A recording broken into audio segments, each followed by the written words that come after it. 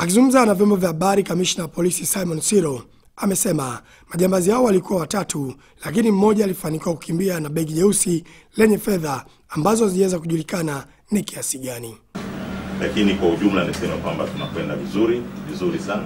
Raia wema wanatupa taarifa sana sana sana, na wengi raia wema wanatukia uhalifu, lakini wale wachache wanaofikiri uhalifu unalipa, hao ndio tunashughulika nao, na joto la jua unalipata, kwa sababu kama wewe unatumia bunduki majibu yake utayapata. E, kama katika maisha yote umeona wewe uishi unaitwa babu bunduki, sijui babu, babu kibaka, hiyo hiyo tu hatutaweza kuivumilia.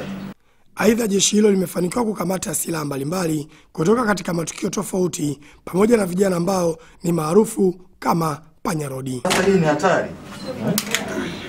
Sasa utafikiri wana utafikiri wanachinja.